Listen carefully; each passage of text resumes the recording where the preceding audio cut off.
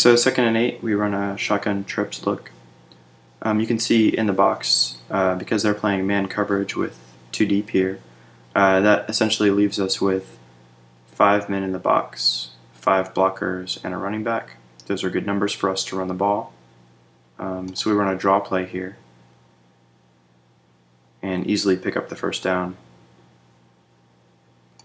You may recognize that play. Uh, this is the almost exact same play that Malcolm Brown scored on in the UCLA game.